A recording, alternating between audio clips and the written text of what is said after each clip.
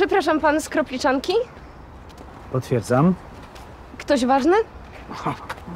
Jeden z ważniejszych. To dla pana. Dla mnie? Za zniszczenie planety! Pilnuję jedne! Ja mam da! Odsuń! Pilnuję gadajcie, odsuń! Lokalni ekoterroryści wciąż nie wybaczyli nam afery ze szkłem. Dziś o godzinie 8.55 zostałem napadnięty i jednokrotnie uderzony wyrobem cukierniczym. Cechy charakterystyczne napastników.